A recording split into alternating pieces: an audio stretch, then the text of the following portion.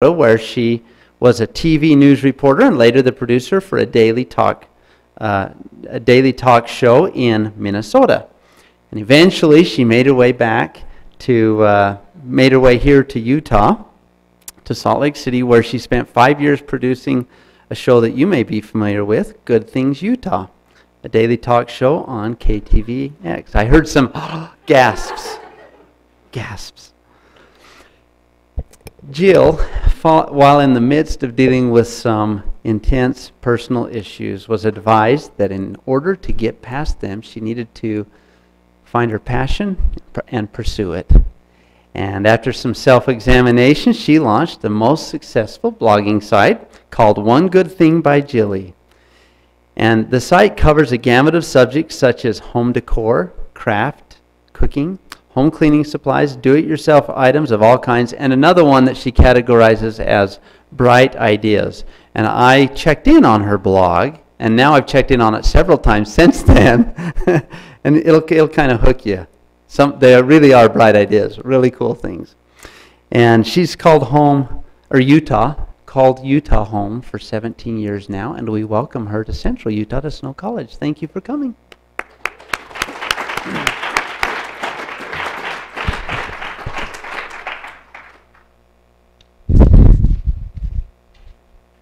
Thank you, Alan. Thank you all for being here. Wow, almost uh, a full house. This is exciting. I've never been to Snow College before, never been to Ephraim before, and it's a beautiful place, a beautiful campus, and it was a beautiful drive here. I couldn't have asked for a nicer day, so I'm, I'm thrilled to be here with you. Thank you for the nice introduction. Um, he gave you a little bit of background about my website and the things that I do right now, and I will fill in a little bit more as we go through um, my remarks today. But First of all, I just want to say I am flattered and humbled by this invitation to come here today. Um, I have a framed print in my office that says, I'm a big deal on my blog. and it's kind of a, my son and daughter-in-law gave it to me for Christmas. It's kind of a sarcastic way of saying, you're not, you know, as big as you think you are, and kind of keeping me, keeping me humble. Um, so I guess I think to myself when I'm asked to do something like this, you know, what, what do these people want to hear from a blogger? Well, I asked myself that question and I gave it some thought and I'm going to share with you what I think uh, might be helpful to you about what a blogger has to say. How many of you plan on working for a company or starting your own company someday? Good measure of you. Um, you cannot find any company nowadays that doesn't that does not have a website and a blog attached to that website uh, nowadays. Blogs have become huge in every aspect of of business. Um, and somehow, if you are going to be working for this company or have your own company, you will probably be involved in some way contributing to whatever content is found on that blog. So, number one reason. Um, Trivia question. Where does the word blog come from? How, how did blog originate? It's a weird word, blog, blog. Anyone? Really? I thought everybody would know this. Anyone? Very good. Web blog. Has anyone ever heard of that? It started out as web blog, and it was kind of like an online journal. People started doing their journals online. It was on the web. It was kind of like a log of your life or a conversation. It got shortened to blog. So now you know. Now you know where blog came from. Anyway, blogs are here to stay. I'm pretty sure of it by now. Um, how many of you plan on, um, how many of you are married with kids or plan on getting married and having kids someday? Still not enough hands. I'm thinking there should be more. um, this blogging is a great way for um, one of you in that partnership called a marriage and a family to be able to stay home and make a living. And I'm not just talking about the girls, I'm talking about the guys too. My husband is a videographer for the LDS Church, and he follows a lot of blogs online from his um, that are put on by his peers that are gentlemen or males. So it's not just a mommy blogger thing. There are blogs um, all across all across the board.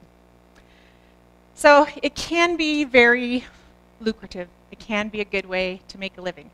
So I'm going to give you a little bit of a personal experience about this, my experience, so by giving you a little bit of background. I started OGT, I like to stay for short because it's a long One Good Thing by Jillee. My nephew and business partner tried to talk me into shortening it when we first got together. I'm like, no, it's One Good Thing by Jillee. And yesterday, he actually heard someone on the radio talking about this appearance and talking about One Good Thing by Jillee, and they said, I love the name One Good Thing by Jillee. And so he, he said, he actually said to me yesterday, I'm so glad you didn't listen to me when I told you to shorten the name. So go with what you feel, go with your gut. I started it July of 2011, so it's just over two years old. And um, I started with zero visitors, zero ads, and zero expectations, really. Um, I'm going to get to, forgot my clicker. And now, here are some of the statistics for my blog.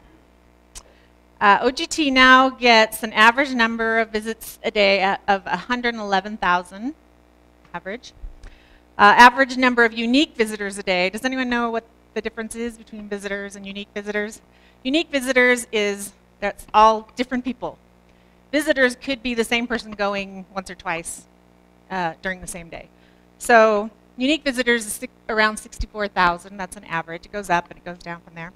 And the average page views per month um, around now, it's been up as high as about 7 million plus, and it's around 5 million plus right now.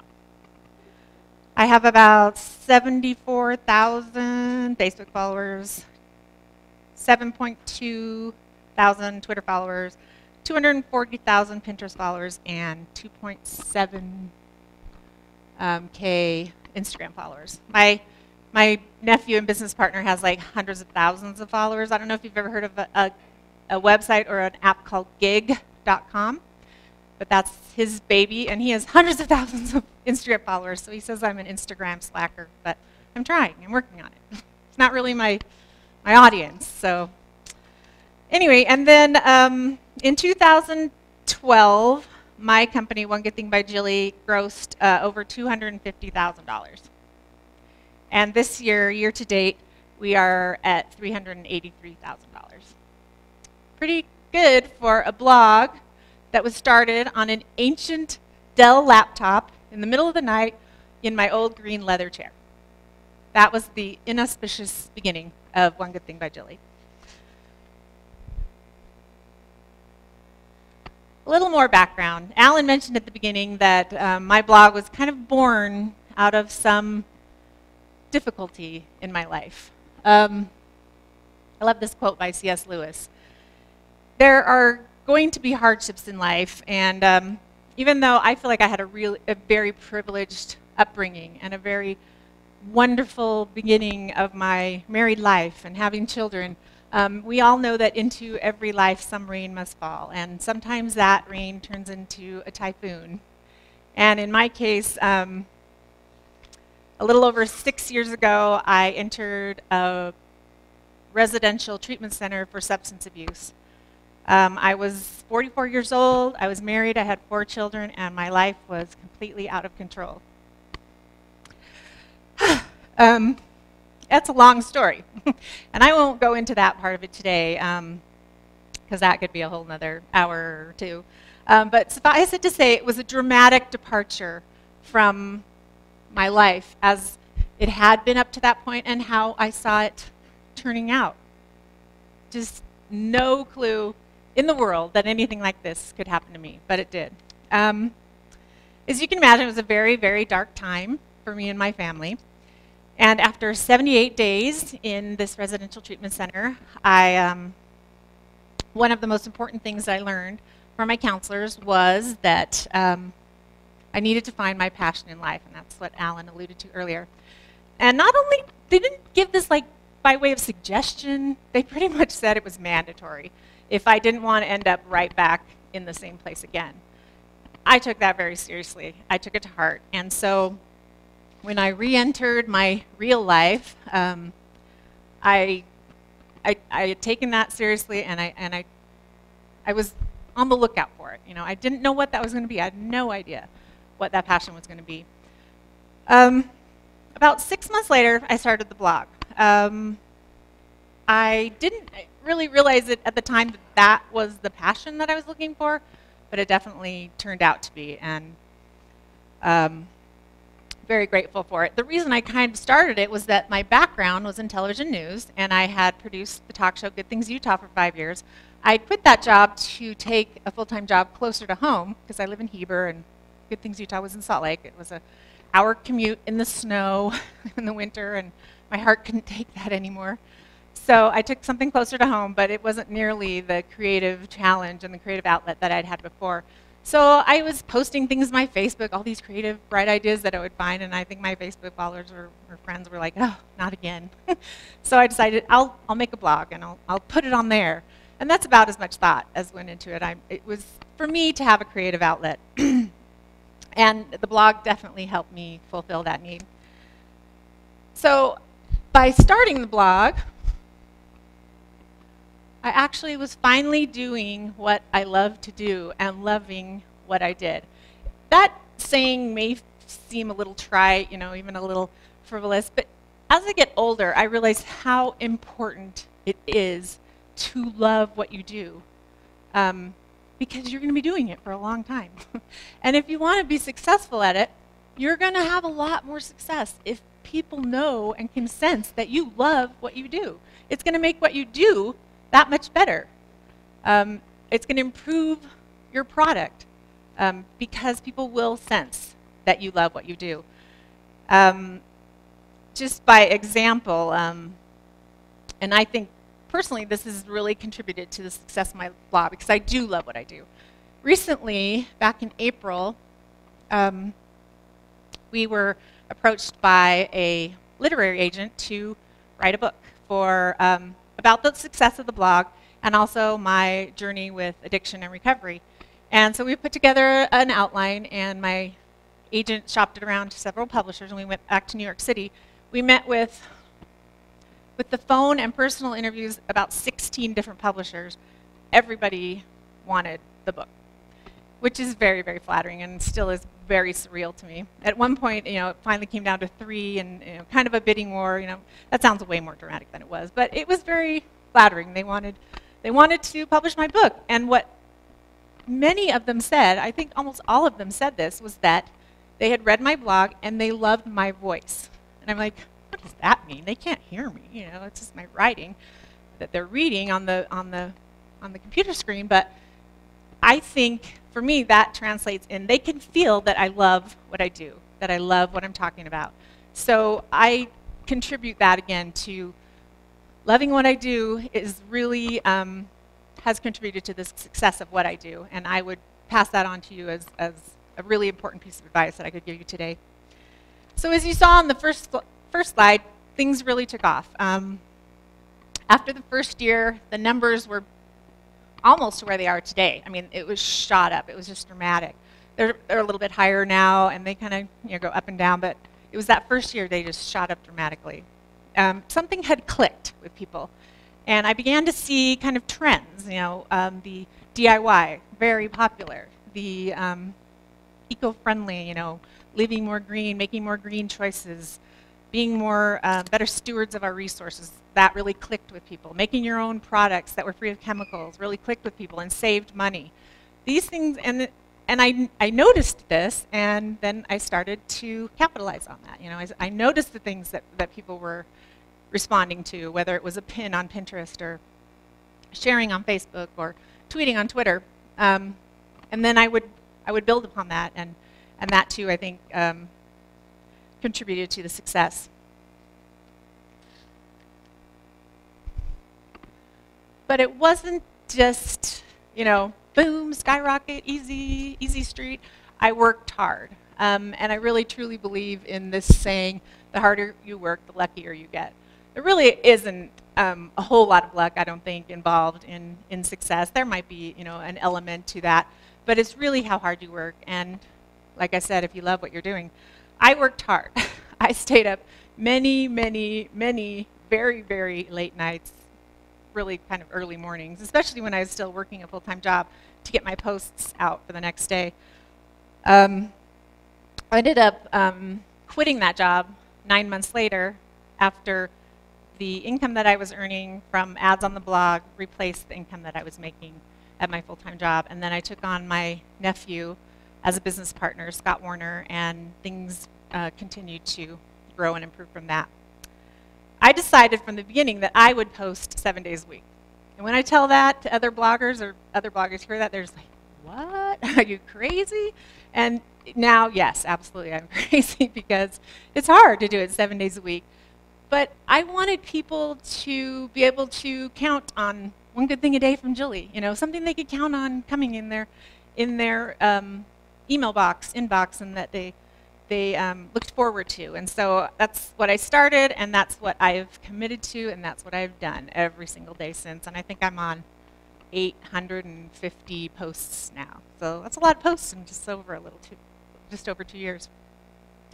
But I still, I, and like I said, it kind of gravitated into more DIY, eco-friendly, homemade solutions, um, food. My, my son happens to have celiac disease, so I do a lot of gluten-free food, and that's kind of a big thing too now. And um, but I also give myself the freedom to do anything I want to do, talk about anything I want to do, and that's that was um, on purpose. That's why it was one good thing by Jillee, because one good thing really could encompass, encompass just about anything. So I, I do try to keep it in those things because I know that that's what people will respond to, but I also have the flexibility to do it how I like it. So kind of the meat of what I wanted to talk about with you today is what my measures of success are today. I realize that this is a very personal thing. Everybody's measures of success are going to be different. Um, but I figured if I shared what mine were, it might be kind of a jumping off point for you to think about what yours might be. Now that the website has achieved a certain amount of success, and I use air quotes on purpose because success, empirical measures of success would be money and um, um, statistics, like I talked about, and endorsements and sponsors and, and the book deal. You know, those are pretty empirical um, measures of success. But my thoughts turn to what, what is success really? What is it for me? And like I said, everyone's is going, everyone's, everyone's measuring cups are going to look different from mine. But after some contemplation on my part, these are my true measures of success that I thought I would just share with you. Um, the first one is creative outlet. Talked about a little bit about that already. Um, this was important to me when I was, even when I was deciding what to major in, uh, at co in college. I chose broadcast journalism because that's super creative. Obviously, I didn't consider time or money when I went into broadcast journalism because A, there's not a lot of money in it, unless you are, you know, the, the top 2% of the broadcast world and on the anchor des desk every night at, from at 6 and 10. Otherwise, you don't make that much money in broadcast journalism. I'm sorry to tell you if that's any of your majors. Um, time, it's crazy time commitment. You know, you're just, you work overtime, you're all over the place. So I, did, I obviously wasn't thinking about those two things, but creativity was, and to me still is, vitally important. Like, I would shrivel up and die if I couldn't have a creative outlet.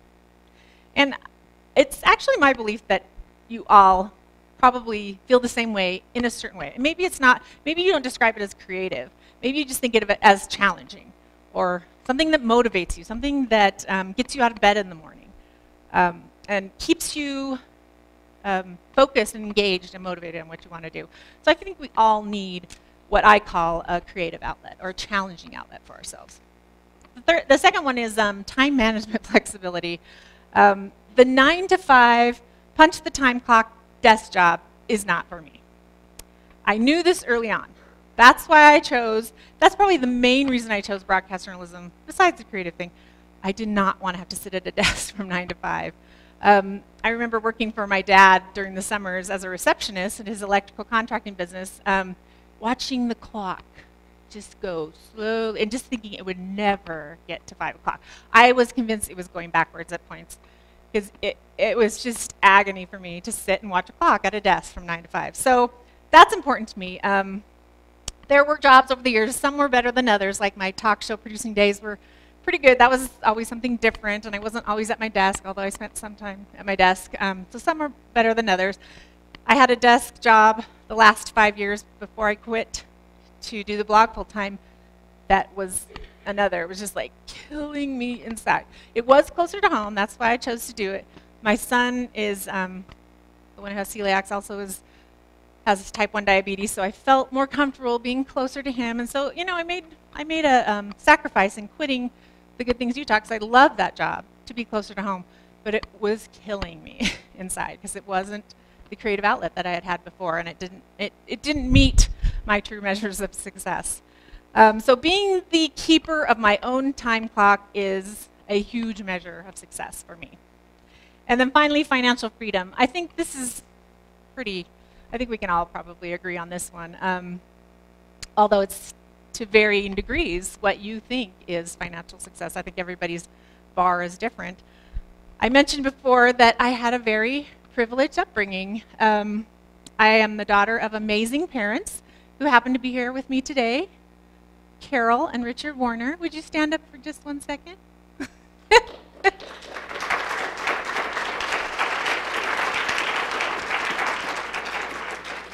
I'm so, so proud to come from them. Um, they, are both, they were raised in Kanosh and Fillmore, respectively. They moved to Southern California after they got married. And my father is a self-made entrepreneur. He started an electrical contracting business in Southern California that eventually ended up um, doing the work on the Tom Bradley LAX airport terminal. So very, very successful entrepreneur. So I had a very good model in, in that. And I had a mother who always, when you talk about your mother, you just can't help but cry, huh? Who modeled and encouraged education. Um, she was a huge proponent of education and always told me that I could do whatever I wanted to do as long as I put my mind to it. So I had wonderful, wonderful examples growing up. When I got married and got kicked out of the feathered nest, it was a rude awakening financially, as you can imagine. Um, I was on my own and had to um, deal with that, but it was a great thing in hindsight. it was a good experience for me because it, it made me appreciate that financial part of the success puzzle that I would not have been able to appreciate before.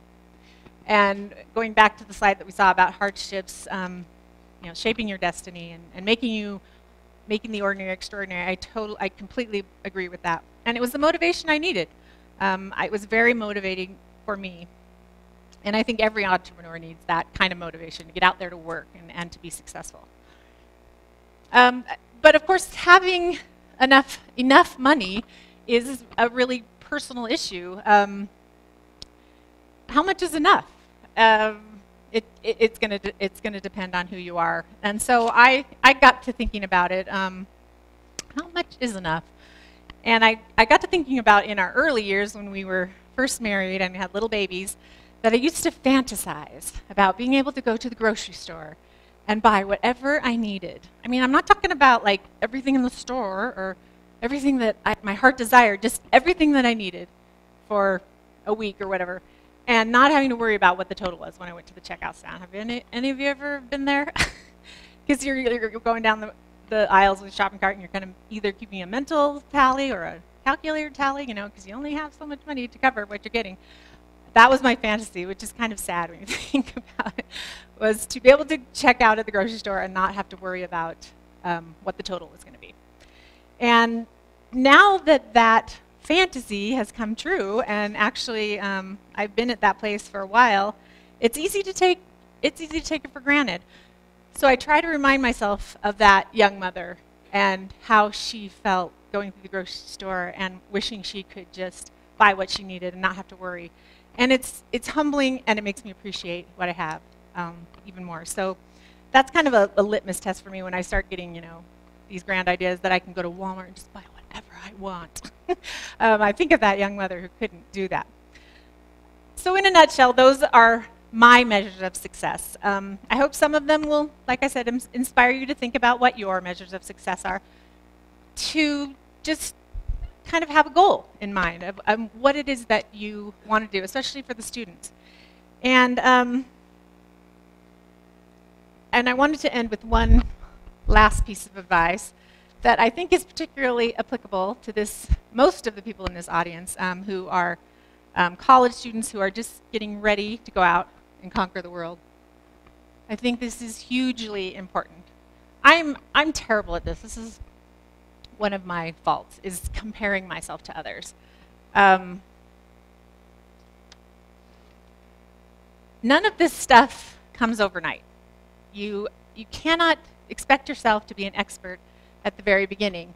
The expert in anything was once a beginner. Allow yourself to be a beginner. Everybody has to start somewhere. And without starting somewhere and taking that journey, making those mistakes along the way, you're not going to learn the things that you need to learn to be successful. Everybody, um, everybody has to to learn. Um, it, it, it's a process. My blog might be considered like an overnight success, I guess. You could kind of say that because in a year it really did just like skyrocket. But you have to think about that um, there were years of dues that were behind that success. Um, one of my strongest beliefs um, is that content is king. Um, that's a whole nother lecture, but and I really concentrate on content, and I think that is an um, comes from my my days as, of producing and, and television reporting, um, I knew how to create good content.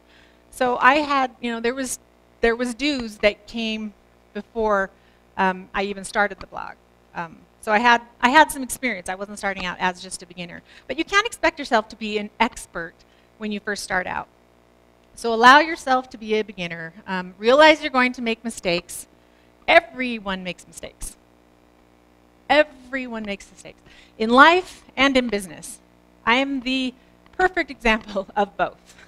I have made my fa fair share of big and little mistakes. Everyone's going to make mistakes. That's how you learn, and that's how you grow, and um, it's a necessary part of your journey. So, and just remember, I keep going back to the hardships. The hardships are what are going to take us from ordinary to extraordinary. And I, I, I, look around this room and I just see nothing but potential. And I know that each of you has your own, your own dream and your own you know, possibilities. And I just know that there are so many, all of you out there have your own extraordinary journey and story ahead of you. And I am excited for you and I, I'm excited to find out how those all pan out. So I hope you'll all remember what my um, Twitter handle was or my email and let me know, you know, about those successes. I would love to hear what your plans are, what your journey is, and, and how it turns out. And so I just want to thank you for this opportunity and um, hope that I helped um, inspire you a little bit. And then I want to open it up for questions if anyone has any questions.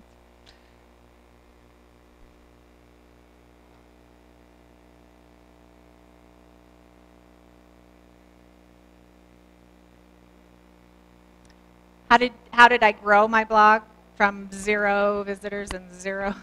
well, I started with my mom and dad, for one thing. They were my first two followers. and then um, just, uh, you know, it just starts slowly at first.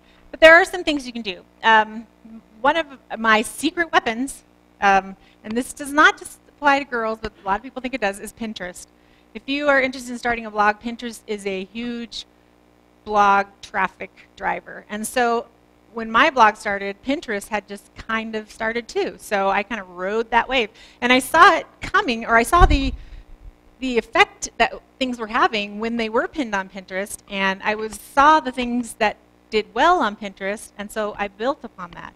So you just kind of pay attention to what blog posts you're doing that really have, you know, a big impact, and then you want to do more of those. Um, so Pinterest is huge, and then social media in general is just huge. 50% um, of my traffic comes from social media. 95% of that is Pinterest. I was not looking to monetize from day one. I had no idea blogs could make money. And I get that question all the time. You can make money with a blog? Like, yes. I told you what, you know, we made last year, this year. But honestly, when I started, I had no idea. I had to it was a few months into it, and I'm like, hmm, I wonder if I could somehow make money doing this. And so I looked into I saw ads, you know, Google ads were on some blogs that I'd been on, and so I looked into that, but I was totally had to educate myself as to how that worked. So I started out with Google ads, which most blogs can, and then I moved on to ad networks, which you have to be accepted into, and you have to have a certain level of traffic before they'll take you on. So no, when I started, I had no idea you could make money doing a blog.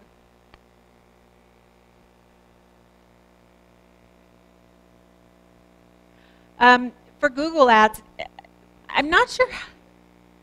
Oh, I'm sorry.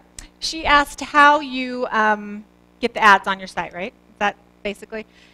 I started out with Google Ads, and back then, and I, I'm not even quite sure how it is now, anybody and their brother could put a Google ad because it's based on clicks. So if, if people don't click on the ad, you don't make any money. Nowadays, I'm with several ad networks, and I get paid um, on how many people visit the site based on, because I have a certain established amount of people that visit the site. So based on that is how much I get paid. But anybody, I think, can start with Google. I think there is a, a, small application process, you know, that you would have to go through to get Google Ads, and then they give you a short piece of code.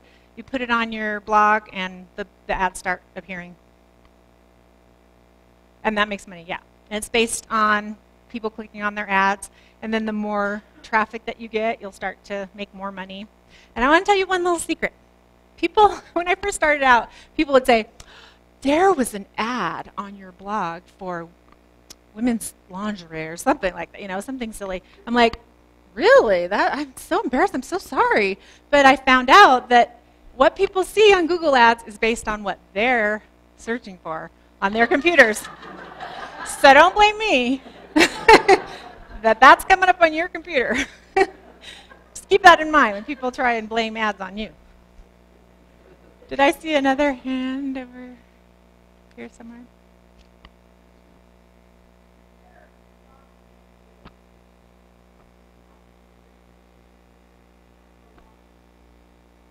That is a lot of blogging.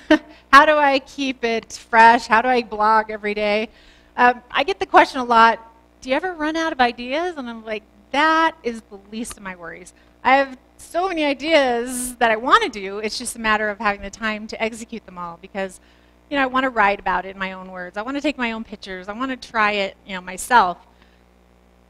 But there's not a lot of, there's not enough time to do that every single post. So some of the posts I do are what I call curated posts, and I'll, today's post is a pretty good example of it. It's 21 days to stop, 21 days, 21 ways to stop wasting money. That's just kind of a compilation of ideas that I found in my research.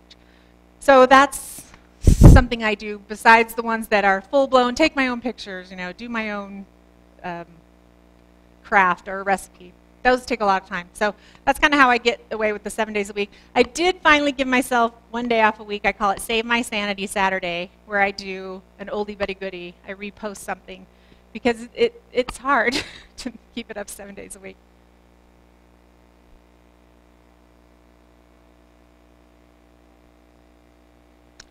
There is um, a couple of, oh, how do you start a blog?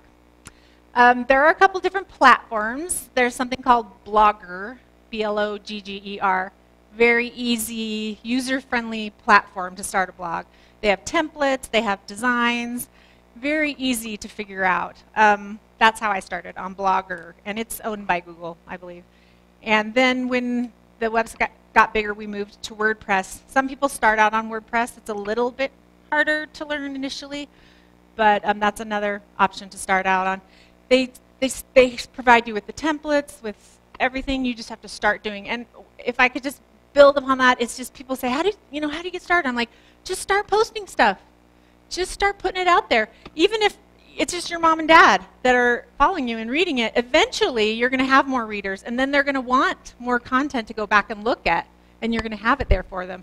Whereas if you, you know, just have that one post and you're just waiting for people to come and read it, you know, that's not going to happen. You just you need to keep pumping out the content.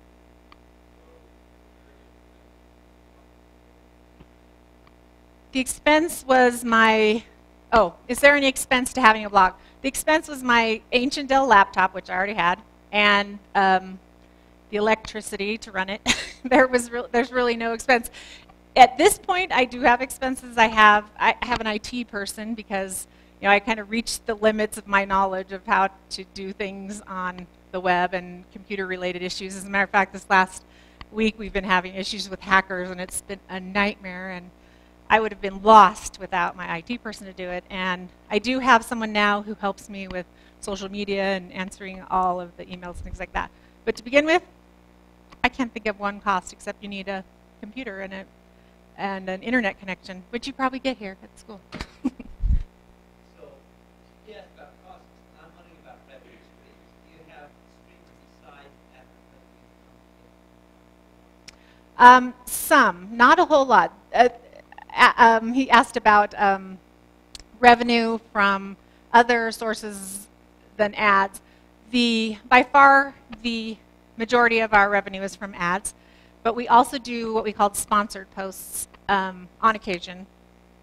We try to limit them to not. You know, I don't. I don't want to do a sponsored post obviously every other day because my readers would get turned off by that. But blog readers, and I think you'd probably, you know, on blogs that you've been on, probably seen sponsored posts before.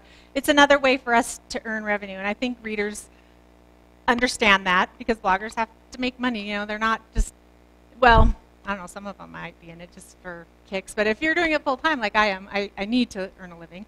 So sponsored posts are another way that you can earn money. And, and for us, it's been people that have approached us, like emailed us and said, you know, what you do on your blog is really similar to our product, and would you be interested in doing a sponsored post?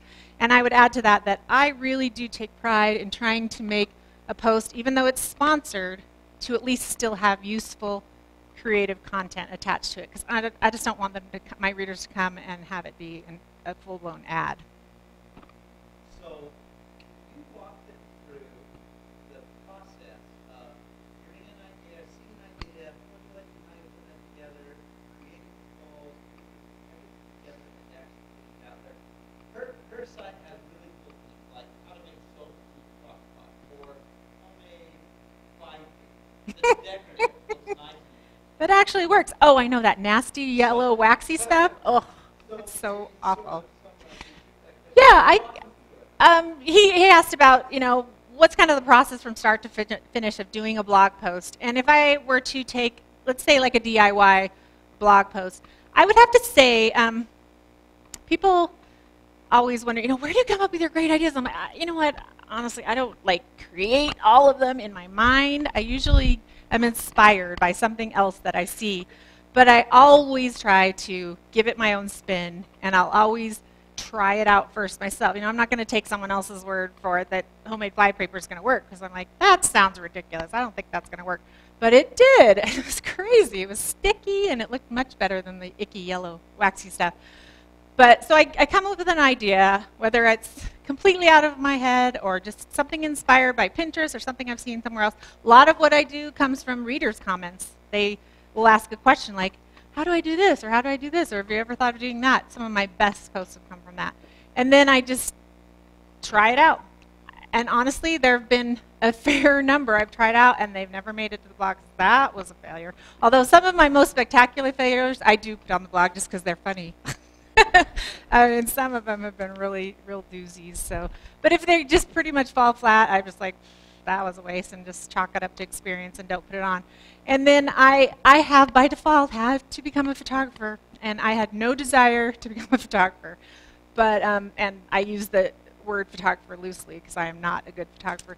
But you have to be able to take some photos for your blog because that it's a very visual um, medium, and so you want to be able to especially for Pinterest and repinning and things like that, you need to have at least some decent images to use.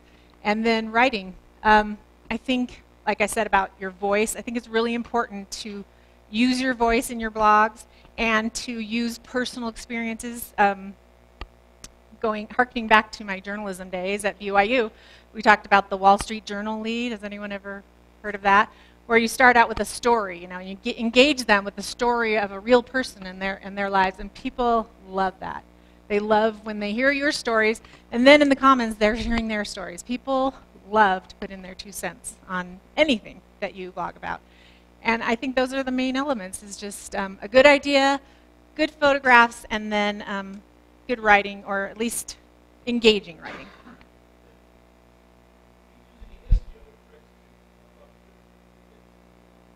Not early on. Uh, he asked about SEO. Does everyone know what SEO is? Search engine optimization. Very important in, the, in websites in the blogging world because you want your blog or your website to be optimized so that people, when they go on Google and are searching for how to make homemade laundry detergent, hopefully my website will come up at least in the top five. Um, it should now because I've had a lot of hits on that post. But not in the beginning. I didn't know what SEO was. I really didn't. Um, I, I've educated myself over the years, over the two years, and I have someone who helps me with that part time. Um, my, my main suggestion would be naming your images. Surprisingly, people will just keep the images that they use on their websites, image 3288, you know, dash 22. And that is not helpful for someone who is searching perhaps through images on Google looking for something. By naming your images what it is, like say homemade laundry detergent, name the image homemade laundry detergent. And then when you post it on your blog, if you know anything about the platforms, it'll allow you to put an alternate text, put a very descriptive text in there also. Very, very important for SEO. Any other questions?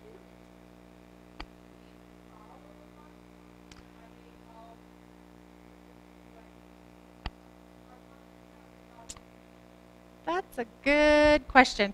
Um, I wish I had more time. Oh, she asked. I thought I'd be better at this. I forget. Um, she asked if I follow any blogs and what kind of blogs I follow. Honestly, when I started a blog, I didn't follow any blogs. I didn't even, you know, I didn't give blogs a second thought. Since I've become a blogger, obviously, I um, am more in tune in, in the blogging world. And having gone to many different blogging conferences, I'm introduced to new bloggers that I didn't know before. Some of them, I'd say probably the majority are probably within the realm that I do, but I also follow I follow bloggers, especially like gluten-free food bloggers because my son is is celiac. Um, I'll follow them. I'll follow some photography blogs that are purely photography because I want tips on how to become a better photographer and and things like that. Just things that interest me. Um, but then you also want to kind of keep your eye on the competition, so you follow your your peers in the blogging world. But uh, that brings up another point that I try to make at most of my presentations is that co um, collaboration gets you a lot farther in this world than competition. It's so often that bloggers and any you know any business in general try to be competitive with each other, and there's always going to be that to a certain extent. But I've found that um, collaborating with other bloggers, who I perceive as kind of like my competition, has been way more beneficial to both of us. You know, we, we both, it's a win-win. We, we both gain new, new followers and, and people that are exposed to our, our blog and our, our content that wouldn't have been before. So that's, that's my, my thing is it's collaboration over competition. You better email me your blog because I will be your third follower. As a matter of fact, I will tweet you and I will Pinterest you and I will guarantee. Email me, jill at byjillee.com or tweet me at Jill's Good Things and I'll give you some social media love. Jill at byjillee.com. And the, uh, go back to the first slide. And at Jill's Good Things is both Instagram and Twitter. And maybe just a good place to end would be talking a little bit about social media. It's huge. It's so important. Um, I talked a little bit about Pinterest, but they all are kind of this, you know, part and parcel of the same thing. Social media is so important, and you really have to keep up on it. It's not something you can just do, you know, once in a while. You really, it's really a way to get new followers, to um, what, something we didn't touch on that, I don't know, I wouldn't say it's huge, but it's helpful, or giveaways on, on Instagram or Pinterest or Facebook, you know, making them specific to, say I really want to boost up my Instagram following, which I really need to, although it's come a long way. um, I'll have an, uh, a giveaway that I announce on my blog, but in order to enter, they have to follow me on Instagram. So it's basically bribing people to follow you. But it works. And so, yeah, I can't emphasize enough how important social media is, and I'm sure you guys all are all over your social media and know how that works. So, but for those of you who aren't, I would encourage you to make it a priority because it's very, very, very important. Well, thank you so much. I appreciate you all being here.